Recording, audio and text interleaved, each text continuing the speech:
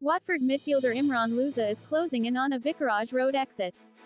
That is according to reports emerging from France on Friday afternoon.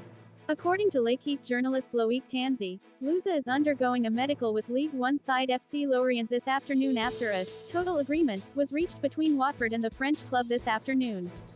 Louza is set to join the club on loan until the end of the season, although Lorient will have no option to buy, according to Tanzi. Before a ball was kicked in August, it would have been unthinkable that Watford would allow Imran Louza to depart on loan. Indeed, ahead of the championship campaign, many would have argued that he was one of, if not the most talented player on the books at Vicarage Road. So, what has gone wrong? Well, after some disappointing and inconsistent performances during the first half of the season, Louza lost his place in the starting 11, and, this just so happened to coincide with the Hornets putting together a good run. As a result, the Moroccan international has found it difficult to force his way back into the team. Imran Louza's career in numbers so far, according to Transfermarkt. For example, so far this season, Louza has made 15 championship appearances for the Hornets.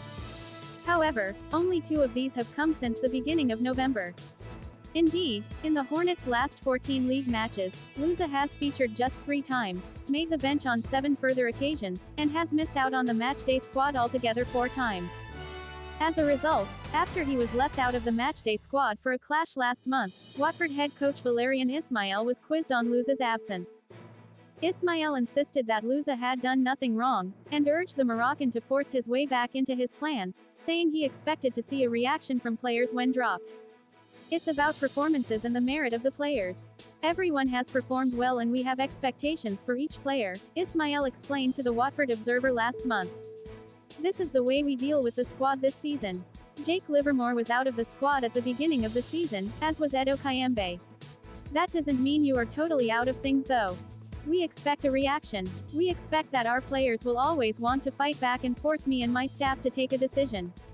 When asked at the same time whether or not Louza could potentially depart in January, Ismaël also told the Watford Observer, It's too early to speak about that as we have important games coming up.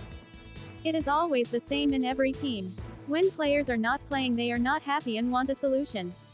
But for now the focus is on us, the championship and the games we will face. With no option to buy included in the deal, and a contract that runs at Vicarage Road until 2028, Louza will return to Watford in the summer following his loan spell. Please subscribe to this channel for more news updates.